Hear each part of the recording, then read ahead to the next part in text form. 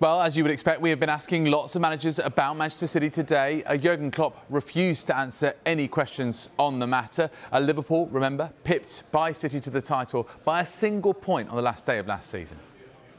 Because this covers a period when you narrowly missed out on titles to Manchester City, how do you feel seeing the charges that have been brought against Manchester City for alleged breaches of financial regulations?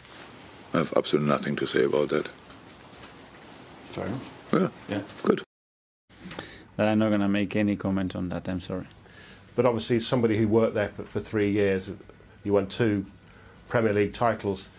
I was wondering whether in any way you thought, despite all the work you put in on the training ground, that there's a potential that they might be devalued. I can't respond to that question because I will be responding part of the previous question and another one to that. I'm sorry. But you never, in your role, saw anything slightly untoward going on. No. How determined are you to win this league on the pitch and not have to rely or have any other issue about points deduction for your main rival? Just focus on what we have to do and, and win enough football matches for that to happen. That's it. You want to win it out there, don't you? That's what it's all about. Sorry? You want to win it on the pitch. Yeah, we have to earn the right to win it. That's for sure. very difficult to talk about other clubs. I'm very loath to do that in any way. Um, let's see what happens from the investigation. I've, I've always said that financial fair play is real for, for us. I don't quite understand. You know, I'm not there doing the figures and the numbers, and I, I, I don't quite understand how it how it fully works. I'm obviously led by the people above me at the club to say what we can and can't do. But certainly, it's been there, and I think it will continue to be there for us unless we can dramatically change our revenue streams. the world we're in, I think. Certainly in this country, you're innocent until you're proven guilty. So it's, it's again, it's not for me to comment on. Is it a good thing though that the Premier League are maybe clamping down on it to ensure that you know the league is treated in a, a fair and proper way?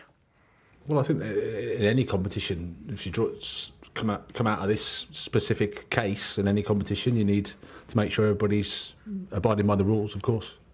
It's not my business, but uh, of course I am involved in, in the football world, and uh, I always believe in uh, in uh, our teams. I, I worked with uh, our clubs to accomplish to to be respect with the rules, and uh, I don't know exactly, but uh, of course we have to believe, we have to trust, we have to work in everything is in- in our, our hands, and um, the issues in another teams I don't know. Hopefully everything is going well because I think it's better for everybody.